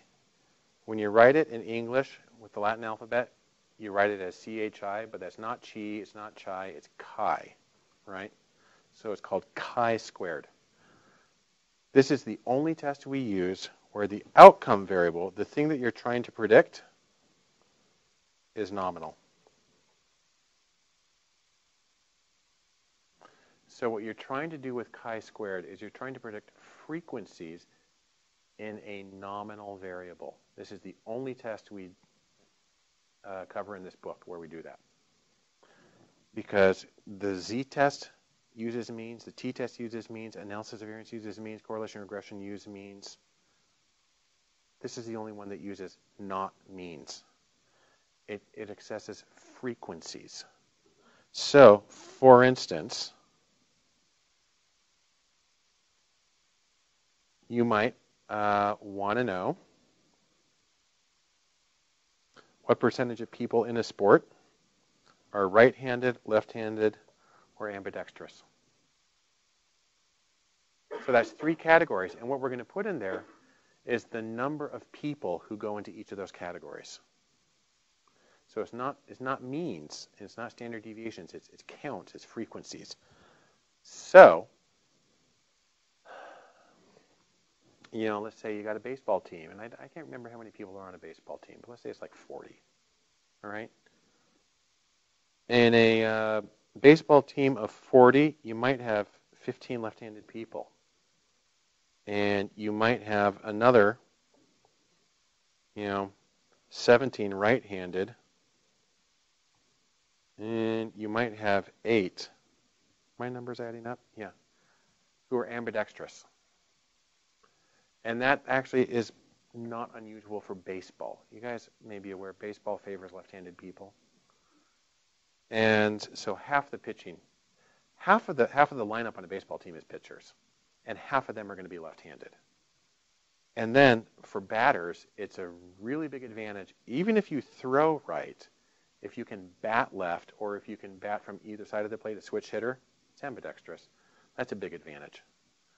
And so you'll get a lot of ambidextrous people and you'll get a lot of left-handed people compared to the general population. In general, 90% of people are left-handed and about 10%, excuse me, 90% are right-handed, about 10% are left-handed, and hardly anybody's ambidextrous in the general population. But in baseball, you get a lot of both left-hand and ambidextrous or people who switch hands. And so this is a situation where we're simply counting how many people are in each category. This is when you would use chi-squared. So it's not an average. It's a frequency. And this, by the way, is the chi-squared test for goodness of fit. Because what you have is a single factor that you're categorizing people on. And in this situation, the, the category is handedness. So that's our one factor, our one variable. And we've got three possible answers to that one. Now, if you wanted to, so the, the chi-square test for goodness of fit, that's, that's where you use this. You can also have what's called the chi-squared test for independence, and that's where you have two categorical variables that you're breaking things down by. So right here, this might be baseball, okay? Um, but this right here would be, let's just say, basketball. Do any of you play baseball or basketball? Basketball? Yeah. Um, most of the people who play basketball are right-handed because there's not a strong advantage to handedness. There's you can you can make a small argument that if you are blocking shots, it would be and you're blocking a right-handed uh, shooter, it would be helpful to be left-handed because then you're blocking with the because you're facing them and you would be blocking with the same arm. You can make that argument, but it's not it's not really strong the way it is in baseball. And so, in uh, if you had a basketball team with 40 people in it, you might expect it to be like this, you know, like 32 and 7 and 1. And what you would do with the chi-square test for independence is you would want to see if the distribution of handedness is independent of the sport that people are playing. So we have two variables that we're using to categorize people, sport and handedness. And each person falls into just one of these boxes, one of these cells. And you can tell just by looking that the sport makes a difference, right? So if a person plays baseball, then we expect a lot more left-handed and ambidextrous people. If they play basketball, we expect a lot more right-handed people. Similarly, the interesting thing about the chi-square test for independence is that it's it's symmetrical. And that while the difference while the distribution of handedness varies according to sport, the distribution of sport varies according to handedness. And what that means is, like, if we know that a person is ambidextrous, we can predict that they probably play, probably play baseball. Or if they're left-handed, we can predict kind of the same thing, and we'll be more accurate more often than not. Yeah.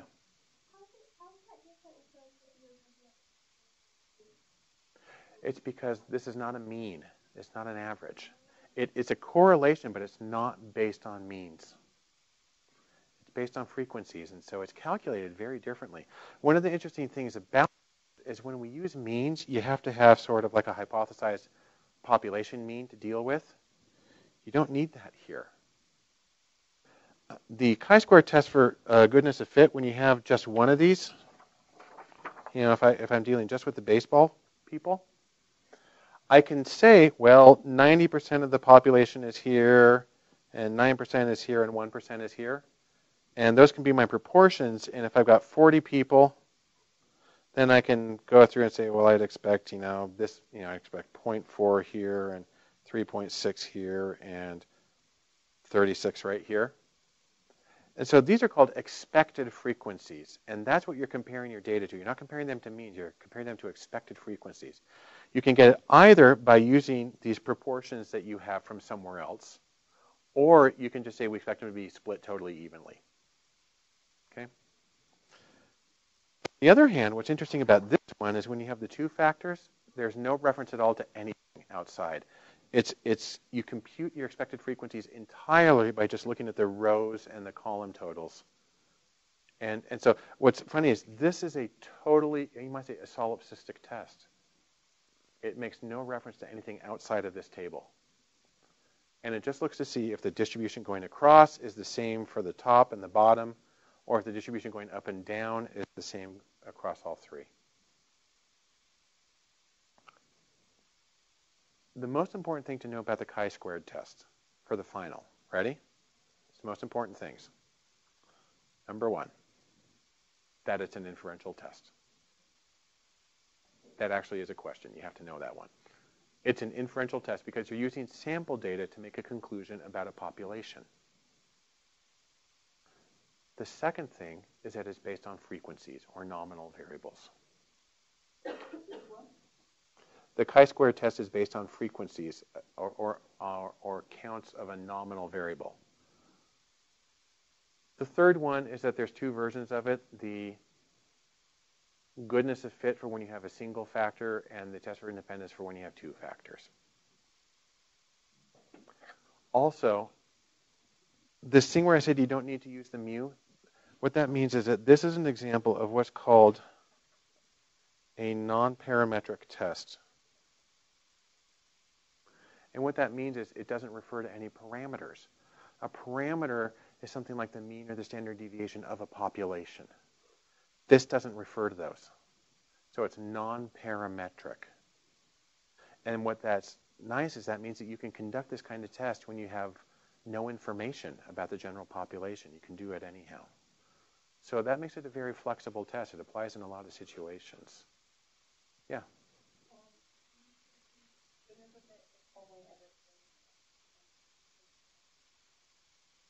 That's correct.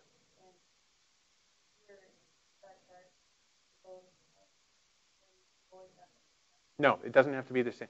You don't have to have the same uh, totals going across. I just happen to do it in this case. You could do it with 80, and it would be looking, is it 2 to 1 all the way through, or, is it, or does it vary? So it doesn't have to be equal. We have two minutes left. The recording stops automatically at 8 o'clock straight up. Um, Repeat something. You said that was for public question. uh, let's see if I can remember them.